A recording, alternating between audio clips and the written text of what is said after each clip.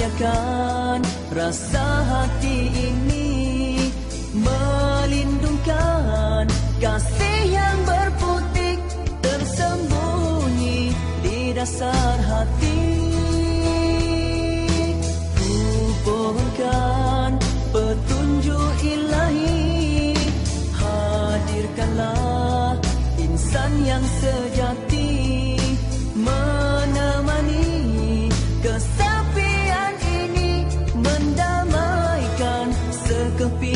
ti.